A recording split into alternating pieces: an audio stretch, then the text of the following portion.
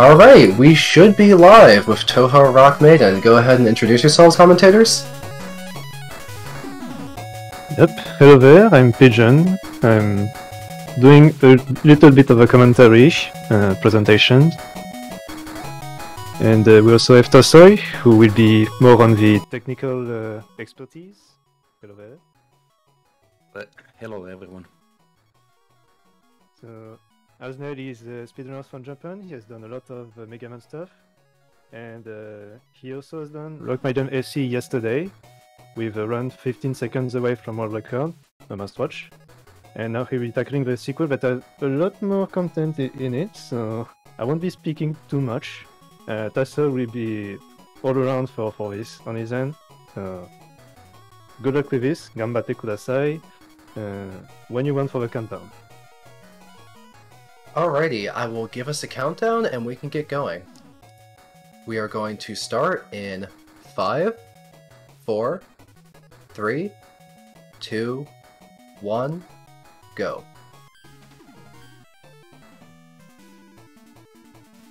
Yeah, so um, as you can see, unlike in most fan games, you don't play as Reimu in this one, but instead of Hijiri Byakuren.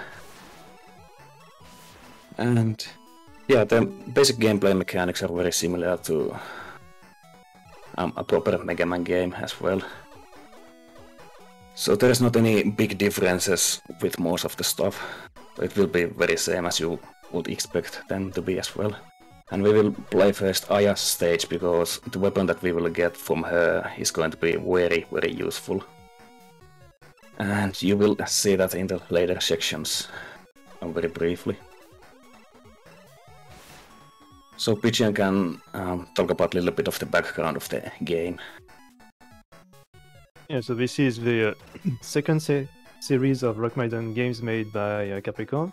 So VFC tackles the old school NES Mega Man aspects, whereas the Rock Maiden series is more about uh, more in the line of Mega Man X and Mega Man Zero, as with the graphics and how the uh, the stage works.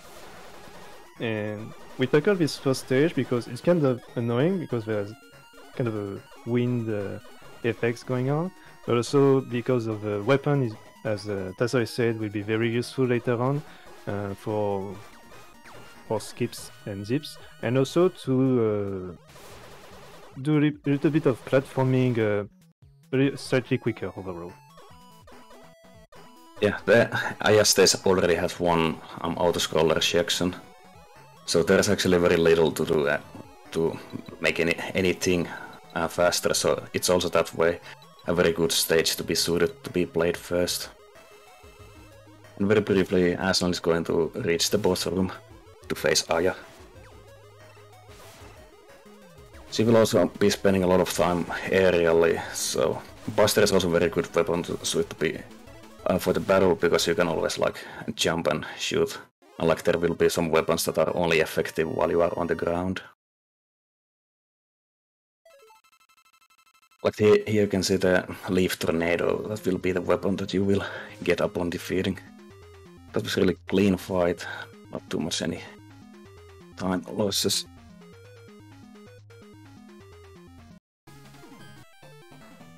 But yeah, soon we will see zips that um, will be used throughout the run very often. They will like um, give you plenty of boost and skip some of the sections and even um, floors beneath. Um, they are not going to be used too much on Marisa's stage, however, but it's the main weakness for her, so that's why it's natural to pick her next. Also, the stage order throughout the history of the speedrunning has been um, changed a lot, like especially Asnel's route. He has sometimes chosen Nazrin as the second stage as well, but I think there's not any big difference in those orders. Yeah, like uh, Also, one, mm, also one good. Okay, sorry. Also, one good um, thing about the tornado is what comes to ladders, because you can just summon it beneath it and get a huge elevating boost. And here we saw the first zip. And so far in the game, that, and we will see plenty of those in the future as well.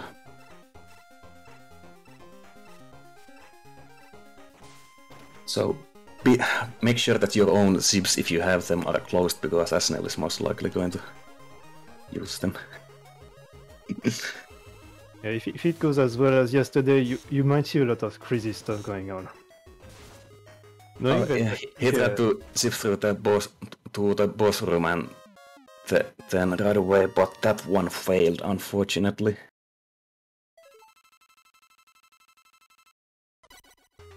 So now he's fighting as Marisa and it's very easy to predict her movements. So that was very nice and clean fight. Yeah, you can probably have so, seen uh, plenty of Oilman references back from Mega Man 6.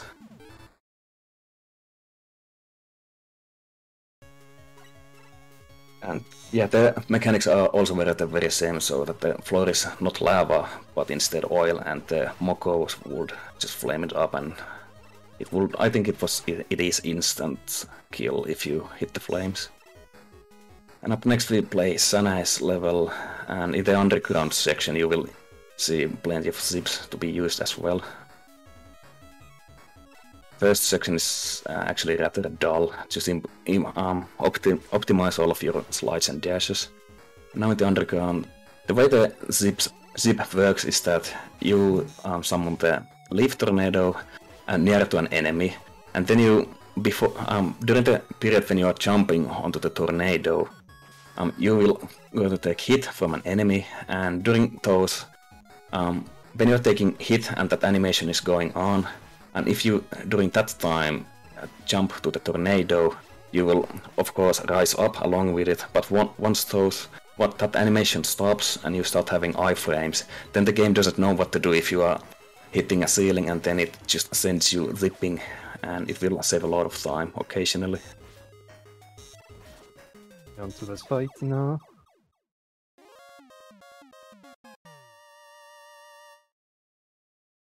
It's also pretty decent, um, easy boss to deal with, especially on your level when the lasers will just ricochet off walls. Especially in the boss rush section when there's ceiling, so that you can actually save a lot of um, weapon energy if you are lacking it, because you can get two hits with just one laser if done right. It's not optimally fast, but it's often worth to use it. And then we have the, I, I would say the best weapon of this game. It's pretty similar to the water wave from Mega Man 5. Actually even slower than that, so...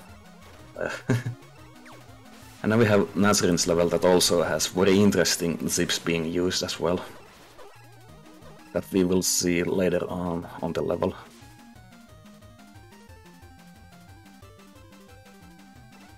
of the darkwood moment when my neighbor is having some of small renovating and drilling noises. I hope they don't carry through the mic. I don't hear anything, don't worry. Can also appreciate all the decorations, like uh, with the Sanae fight, we were at the Moriya Shrine with the two goddesses statues as well in the background. Just like in FC1, just a lot of work has been put to how those sections were uh, painted and such. Yeah, and this stage has uh, two of these uh, mini bosses, and the first one cannot be skipped, but the other one can be skipped by using zips. So let's see if Asnel can get that done. Nice. There's other floor zip going on. Well, And yes, he got the zip, and that's how you skip the other mini boss, and that saves a nice amount of time. Really good execution with the zips so far. Only one has been missed so far at Marisa's level. That was the very scary looking last part of the stage. And next we have uh, Nazrin that behaves very similarly to Snake Man. And then you have very obnoxious of weakness against her, so placement placing these water wave shots is uh, very difficult. You always have to like fire them beforehand and so that um, Nazrin would walk into them. That would be, of course, dealing lots of damage for being the weakness. And also as Asnel was using the sh- shoulder swap feature so that um, he could do some additional damage at times when the water wave usage wasn't possible or not even fast at all. So that's really good optimization with your con- and ability to deal damage constantly. Now we have Murasa's level, which is probably the uh, speedrun-wise the revolutionary level. This is um, I don't know when or who found the first the zip for the first time, but at least when I found it, it was during this level. I, um, in the this very part, I was just wondering if I could put out those water waves, and just happened to have um, this same Ayas weapon. Just I tried it. I didn't see the flow behind the tornado animation, and I probably thought that did it got put out, and then I walked forward, and of course the zip then happened, and I was like, so, oh my god, what happened? And it didn't take long to replicate the glitch, and thus the constant zipping was born. Yeah, like I think Casnell just studied the game for like a week or two before just taking world records everywhere for all the games. So, Yeah, he was doing very constant and very good job with all the, Rock Maiden games as well. That was very risky tactic of going inside the boss so that all of your shots would immediately hit. It's very fast because you don't have to wait for the previous shots to disappear because only three can be visible at a time on screen.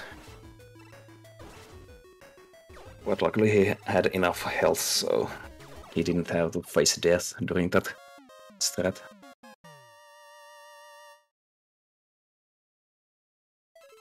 And Murasa's um, boss fight, that's just mostly just being using the shield. With that low HP, it's slightly scary fight, but he knows what he's doing and takes her out with ease. no problem. And then he got my personal favorite weapon, the Anchor! I used to use this a lot in the early days, but just because it's awesome and slightly more powerful than the Buster, and the fact that you can spam it a lot. Yeah, it's like the spear in the first game. The Revelia spear. Can spam it pretty much.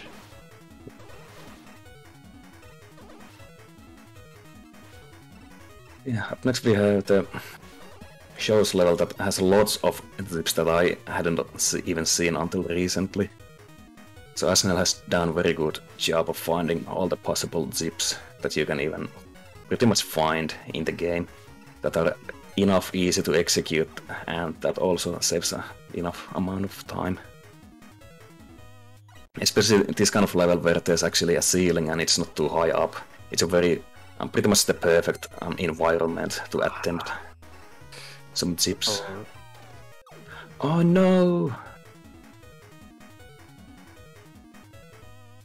That's unfortunate.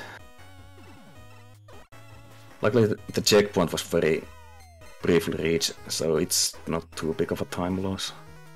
Oh no, no. Oh no, another one.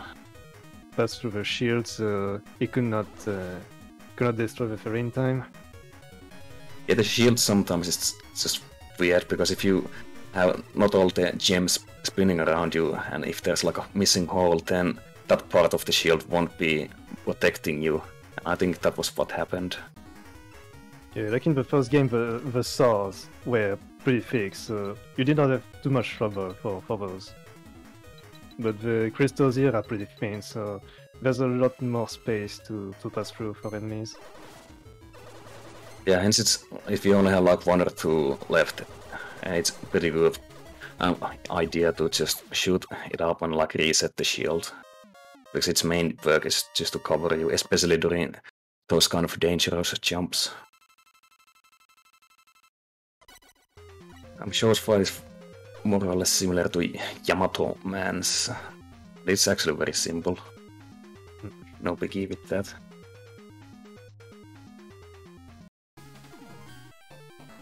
So, which one is the stronger? The, sp- uh, the spear that could penetrate anything or the shield that could block any hit in existence?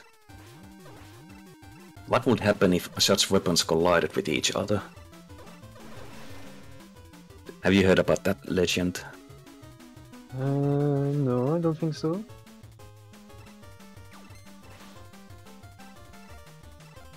I sometimes like think think about that and never get sleep because of that.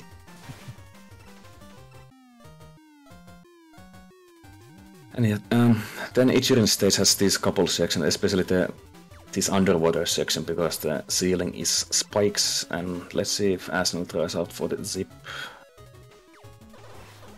Oh yeah, he tried it but didn't get it. That's actually a very hard one because the ceiling is so high up and timing is very tight with that one.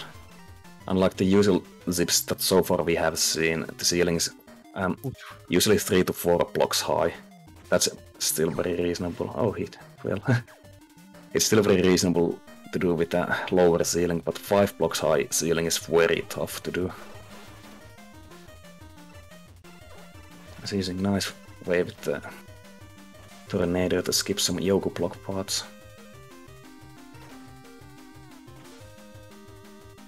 Like you can see that the tornado is being used constantly during the run. It's so useful weapon what comes to the speedrunning.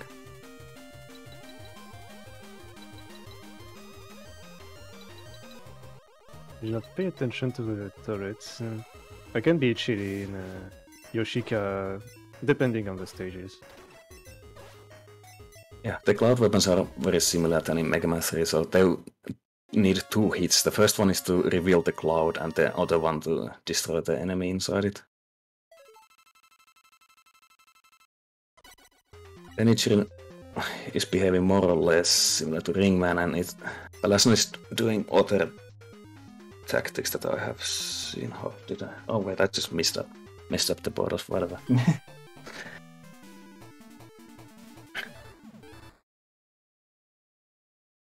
so yeah, naturally we got uh, pretty much the same as the ring boomerang.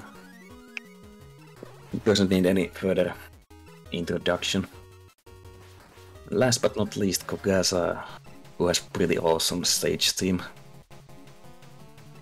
I remember that this game also has a hard mode, and at one point, it um, while playing, the game forced you to take damage in the early versions, and I think that was patched um, in the later versions that it wasn't absolutely necessary anymore, if I'm not mistaken. Hmm. Not too sure. Seems like that first section has a bit of wind, so he took his time before the final jump. And just missed the cycle, sadly.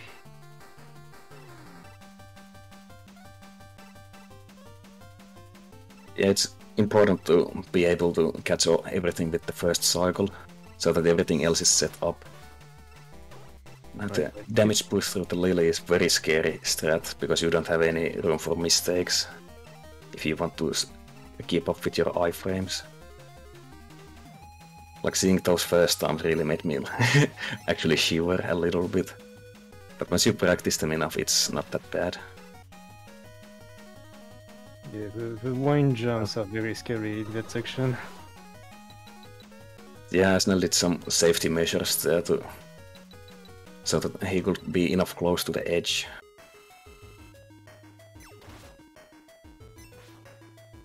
Right. One last Yoshika robot before the boss. Kogasa behaves the same way than Airman, so that's why you always need some amount of HP, because to, I mean, it's pretty hard to dodge those tornadoes that she shoots at you. Luckily, it doesn't take too long time to get those rings done.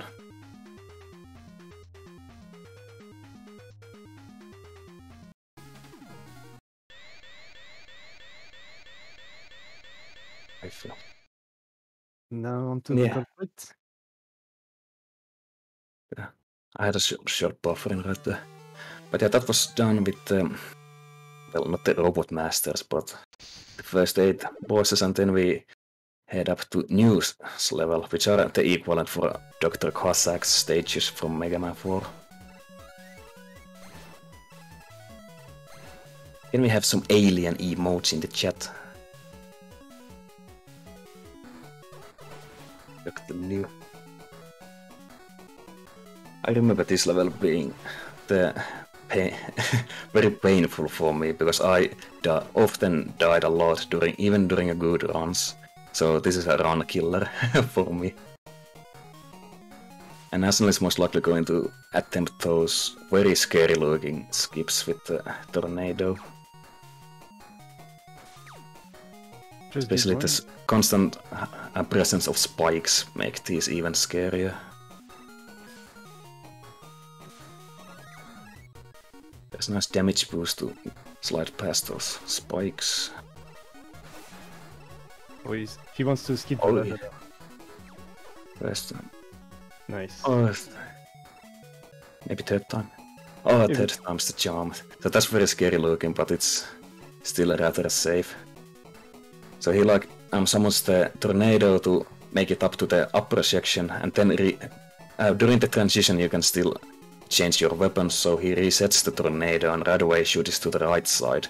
When he still has the extra height from the previous tornado, he can still easily reach for the next one if it's placed enough close. So he managed to do it at on third attempt. I was It's really wondering, nice. mm, It's really nice time save. I was wondering, the tornadoes activate from the bottom of the screen when you drop uh, them. I'm sorry, what? When you use the tornado, when they reach the bottom of the screen, they do activate as well. Or do On they the- hit thing? Um, the tornado disappears when you switch weapons. So when you when he um resets like changing to back and forth with the weapons, he resets the previous tornado and is able to shoot another one. Okay. The momentum gained from the previous one still stays because your momentum doesn't change from that. Nice, you get the long zip through from that Yugi. Hey Yugi Yugi Boogie. Another follow through zip to get past those Momojis.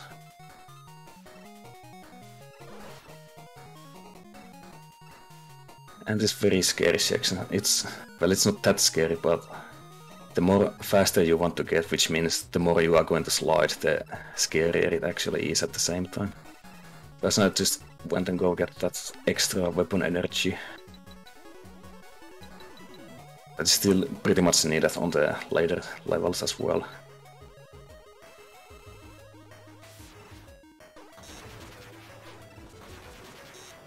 I'm always way too scared, scared to slide on those platforms, especially because they are slowly falling when you are standing on them.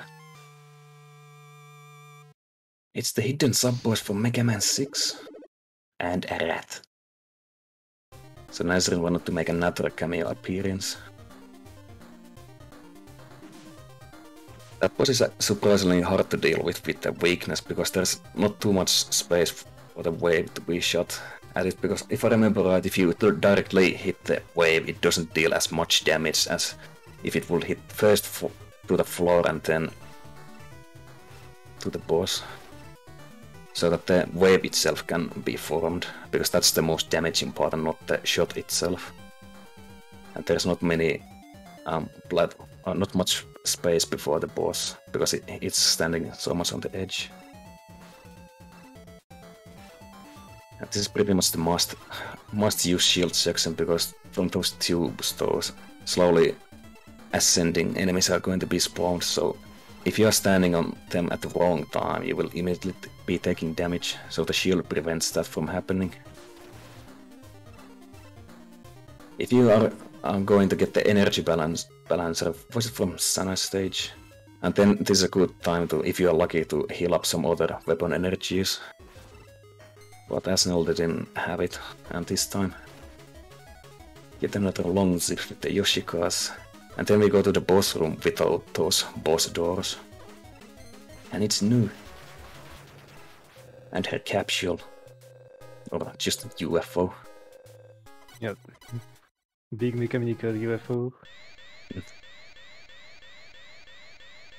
It's kind of weird. We did not see any refights. Refights are going coming later on. uh, because we have to deal What? with the master plan. Oh, it's Reim! Who would have thought? The hero So the the tables have turned. I guess we can take some time to talk about the plot, maybe. So basically, uh, there was some pictures shown in the Bunbun Maru newspaper of uh, of Byakuren. So she's trying to to find who the culprit was about this. Yeah, naturally that's why we chose Aya first. but to our surprise, it actually wasn't. So then Byakuren just decided to go and beat the stuff out of the other ones to find out the real culprit.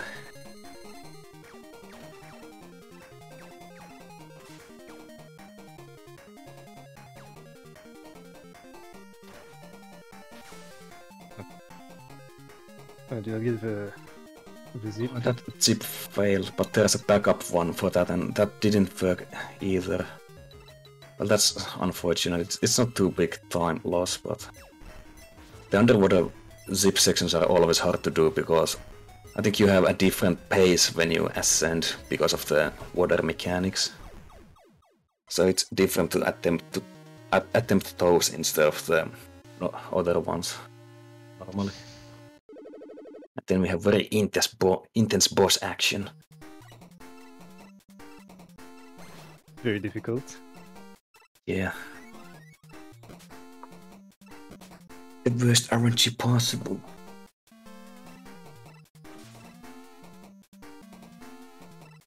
We still haven't seen Reimu.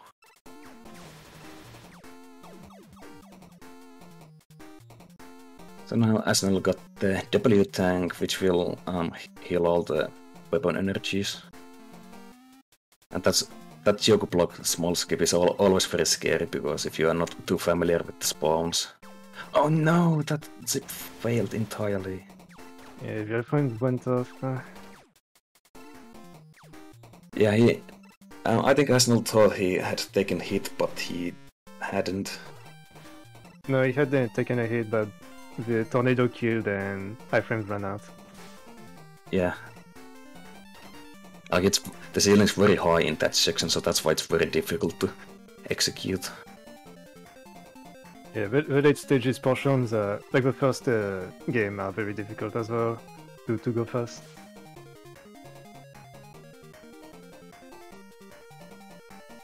He also attempted one more zip in that one, but couldn't carry out, carry it out to the end.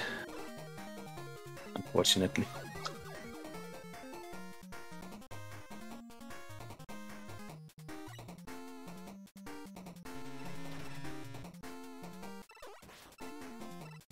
Hey, we can oh. see some of the anchor. Well, Oh no!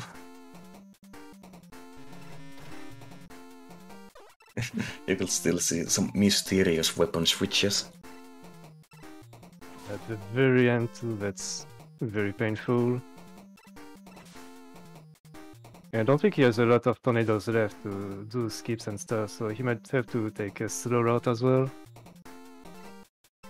Yeah, maybe needing to heal up some weapon energies as well. Okay, now he could get the zip done at least, so... And okay, yeah, he he has enough actually, so let's go. Yeah, he also has the W tank, so in the end we don't have too much to worry. Anchor, yay!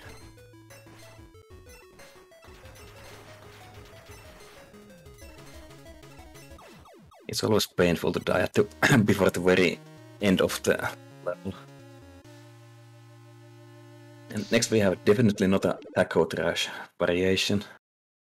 I don't know if this game also has that iframe glitch than the Mega Man 4 has, but the hitboxes are way more forgiving. So it's very easy to just use the ring boomerang equivalent. Right, using the tank to refill the the wind and auto scroller. You know, a classic. You can also point fingers in chat if you want to as well, since pretty much uh, how uh, the Buster works uh, in this game. We don't have any gohei and such uh, to use. It's a good time to take donations.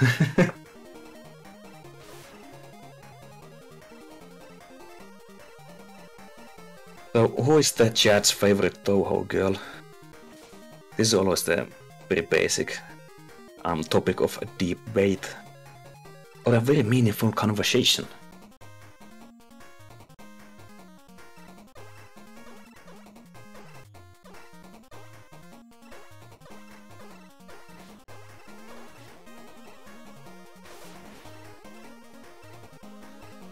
And you thought it was over. But no. Only the beginning.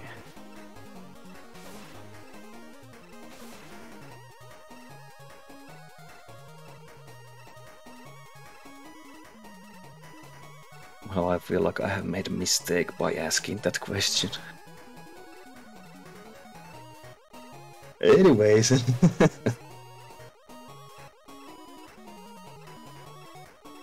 I'm too bad we don't have the wire item for Mega Man 4. Maybe we could use the same... Um, I don't know if it's even a bug. Or is it when you use the wire beneath those platforms and then you, you see, uh, will be gaining height unless you will, will be moving. Or like to despawn the wire.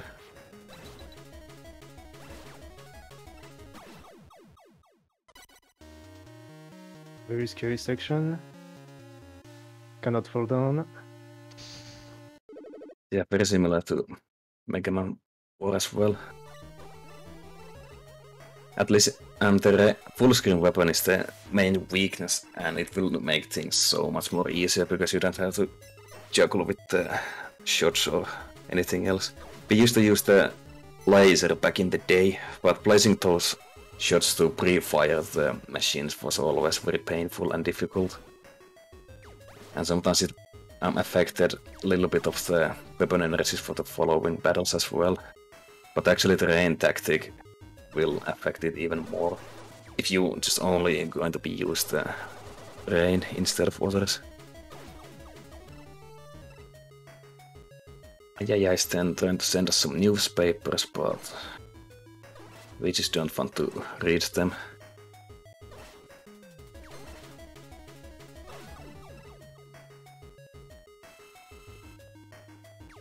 Nice clean fight so far, not needing to even to pick up the health for recovery. It's full health, so it doesn't need it.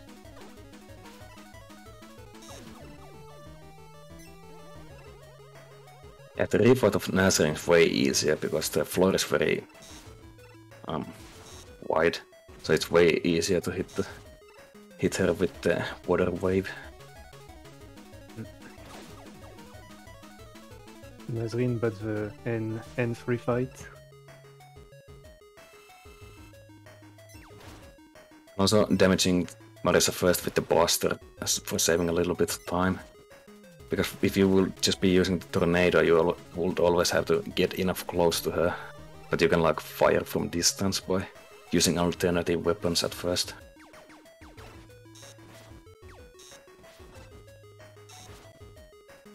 A little bit low on HP, but that should be fine.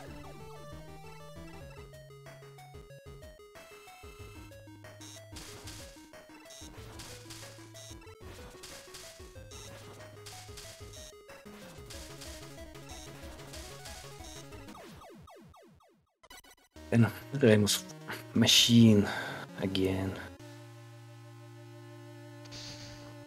You can also ricochet the layers off with the left and right side of the screen, even though it shows no any walls. But it, it will still ricochet off it, so it makes uh, killing the boss way quicker. Now the last level. We will most likely see the final zip of the game. That's totally taken, not taken from Mega Man 2. And there it goes, nice. And then we have Remus Machine. No wonder she cannot afford for food if she spends the money on high tech like that.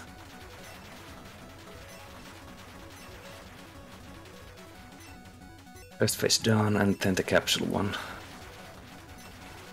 Let's see how pleasant the RNG is.